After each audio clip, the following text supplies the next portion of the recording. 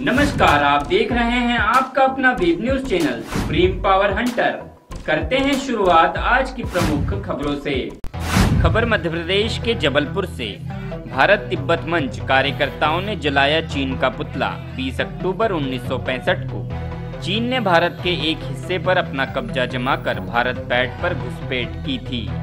तभी से भारत भर के लोग इसे काला दिवस के रूप में मनाते आ रहे हैं।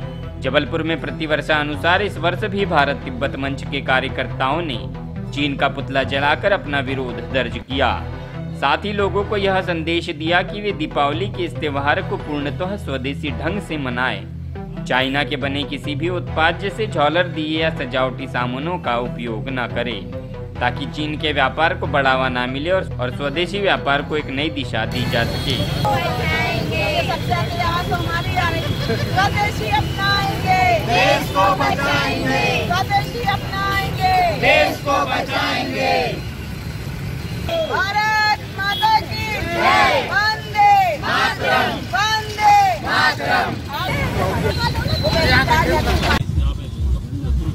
आज हम लोग यहाँ पर चीनी वस्तु का बहिष्कार करने के लिए हुए हैं इकट्ठे यहाँ पर। और काला दिवस के रूप में ये दिन मनाया जा रहा है कि चीन ने जो हमारी भारत की भूमि पर कब्जा किया हुआ है तो उसके लिए हम लोग आज अपने यहाँ पर काला दिवस मना रहे हैं और क्योंकि दीपावली का त्यौहार पास आ रहा है तो हम लोग चीनी वस्तु का बहिष्कार करते हैं और संकल्प लेते हैं कि हम लोग चीनी सामान कोई भी यूज़ नहीं करेंगे, जो हमारे भारतीय गाँव के गरीब हैं, रात दिन मेहनत करके जो दिया छोटे छोटे बनाते हैं और अपना पूंजी उस आज हम लोग यहाँ पर उन्नीस सौ बासठ में चीन ने जो अनैतिक रूप से भारत के कुछ हिस्से को अपने कब्जे में ले लिया था।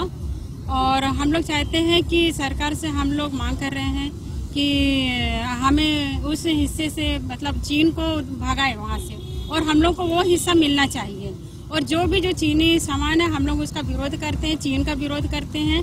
आज हर ज़िले में, हर ज़िले में सभी लोग भारत तिब्बत सहयोग मंच के द्वारा हर ज़िले में आज 20 अक्टूबर को हम लोग ये काला दिवस के रूप में मना रहे हैं। और हमारे साथ में हमारे सभी बहनें हैं और हमारे ज़िले से आए हुए भैया भी हैं, सभी लोग इधर इकट्ठे हुए हैं और आज हम लोग इसके बहिष्कार कर रहे हैं और चीन का पुतला दहन कर रहे हैं। मेरा नाम माया सिंह, अध्यक्ष।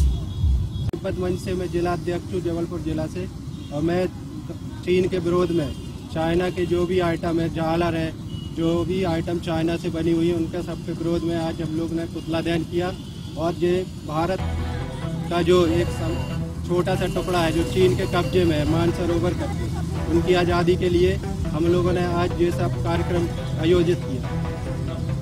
जी अनिल पटेल, भारत तिब्बत मंच जिला। वहीं जबलपुर में राजस्थान से आए साढ़े छह लाख की स्मैक जबलपुर में पकड़ाई। जबलपुर की एसटीएफ की टीम ने दो स्मैक तस्करों को गिरफ़्तार करने में सफलता हासिल की।